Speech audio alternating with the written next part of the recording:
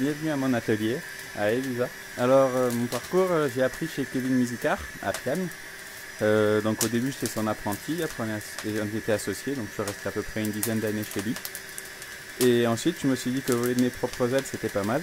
Donc j'ai fait la tournée de tous les villages de montagne. Et le maire d'Elisa, ça lui a bien plu l'idée qu'il y ait un jeune qui vienne s'installer, donc il m'a trouvé cet endroit. Et maintenant, ça fait à peu près 5 ans que je suis à mon compte euh, tout seul. Quand j'avais 7-8 ans, je commençais déjà à forger des couteaux. Euh, j'avais récupéré le barbecue, un sèche-cheveux de ma mère et je commençais déjà à taper euh, sur de la ferraille. Alors ça ressemblait pas vraiment à un couteau, mais voilà, c'était les premiers qui étaient comme ça.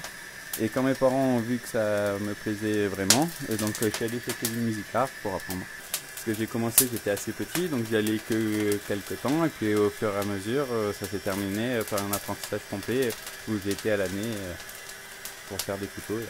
Tous les rudiments, même un peu plus, donc déjà le travail du métal, le travail de la corne, le travail du bois. Après, dans les différents travails de métaux, il y a par exemple, donc par exemple, le, souvent avant les forgerons, ils recyclaient parce que produire de l'acier c'était compliqué et le recycler c'était quand même beaucoup plus facile. Donc par exemple là je recycle moi encore ou des limes ou des spirales d'amortisseur de voiture, tout ça. Et ça je l'ai appris grâce à lui. Ensuite aussi j'ai appris à forger des pièces assez compliquées grâce à lui. Et aussi tout ce qui était damas.